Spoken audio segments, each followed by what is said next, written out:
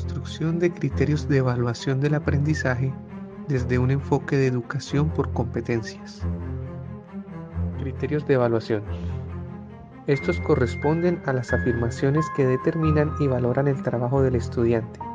Ofrecen claridad y transparencia sobre las pautas de trabajo y de valoración del aprendizaje. Son las pautas concretas para orientar el aprendizaje y la evaluación en las competencias. Establecen los logros esenciales que deben ser considerados en un grado o periodo académico. Son una herramienta útil de planificación y organización de lo que se espera que el estudiante desarrolle, debido a que hacen evidentes los desempeños y permiten que estos sean fácilmente comprensibles para docentes, estudiantes y padres de familia ayudan al docente a orientar acciones formativas hacia el logro de los aprendizajes y permite a los estudiantes saber con anticipación los retos a los que se va a enfrentar, es decir, lo que se espera de él en términos de sus desempeños y cómo se va a evaluar el aprendizaje logrado. Actúan como descriptores que orientan los desempeños en el proceso de formación, facilitan la toma de decisiones para valorar el proceso formativo, permiten identificar y analizar las causas de los aprendizajes no logrados y tomar decisiones de manera oportuna.